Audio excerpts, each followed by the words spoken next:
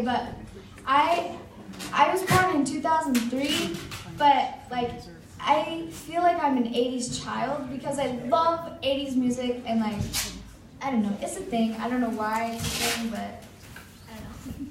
But, so I have a bunch of 80s songs prepared for you. Um, but if any of you have seen the new movie, um, um, The Greatest Showman, I, it was so good.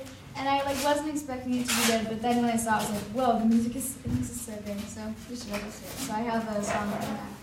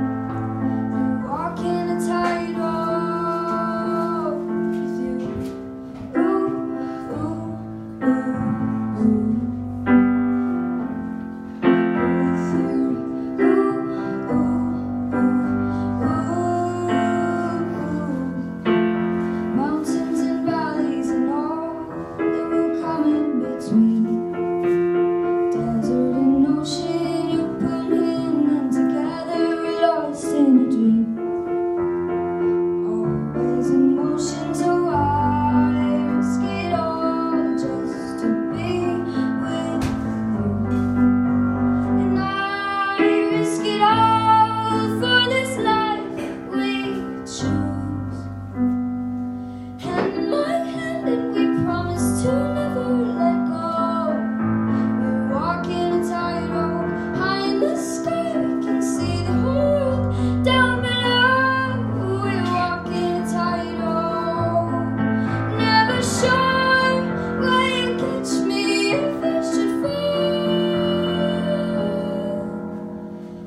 song.